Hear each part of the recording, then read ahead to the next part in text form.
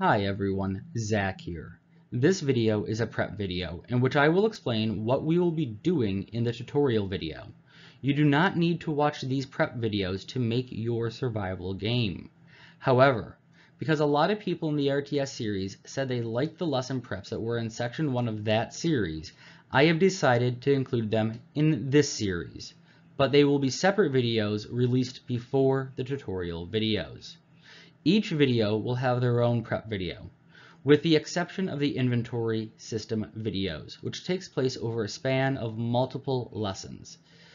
There will only be one prep video for the inventory system, though, as I have not finished the series at the time of this recording, I may choose to do similar for other videos. Likely, there will not be a prep video for the landscape editing. That said, Again, you do not need to watch these videos and can skip straight into the tutorial videos. These videos are meant to help explain the logic and the choices being made. I often get asked, will a project work in X version of Unreal? I thought it best to talk about choosing what version of the editor to use. This series was started, though not released, shortly after 4.23 came out, and I wanted to head off any questions that might arise, especially given that 4.26 is now out.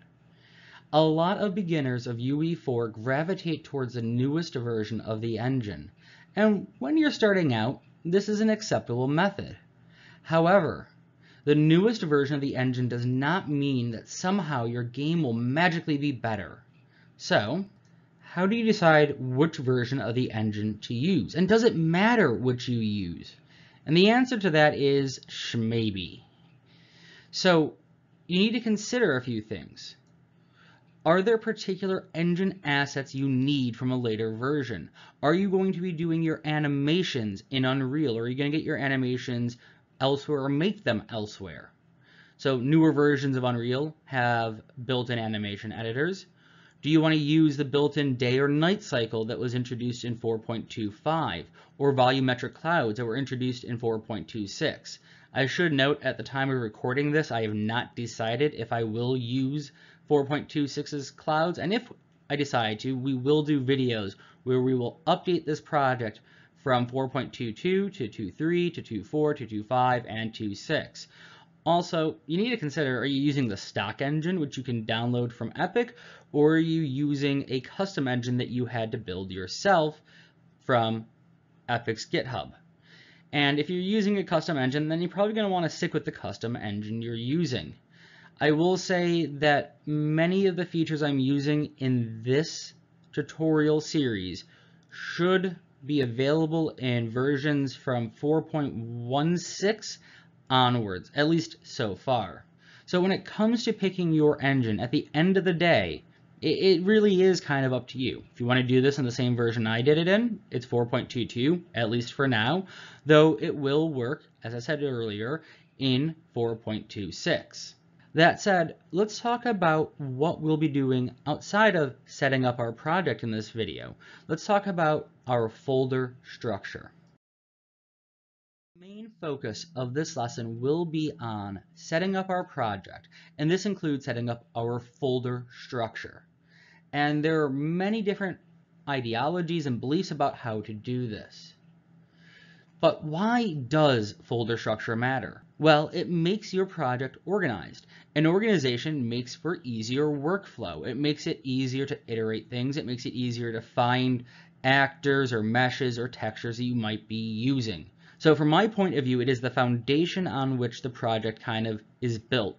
If you have a bad structure, you're going to lose track of things. You're going to make mistakes. And you might have seen this happen in tutorial series where someone can't find their thing and re-import something or recreate something they've already done. I mean, I've recreated functions in the RTS series because of some poor structuring I did there.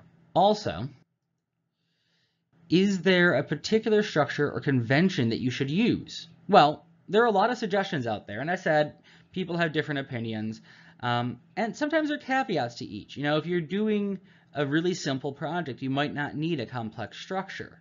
Now for this, I have a particular structure I'm using, and I will walk you through it as we make the project. And I've included a link in the description for the sort of base structure I am using. And it's a suggestion from a community developer, if I remember correctly. And remember, with each of these, there are caveats, there are different approaches, and there are choices that you can make on your own. You know, if you want to use snake casing versus Pascal casing, or if you want to use camel casing, those decisions are up to you.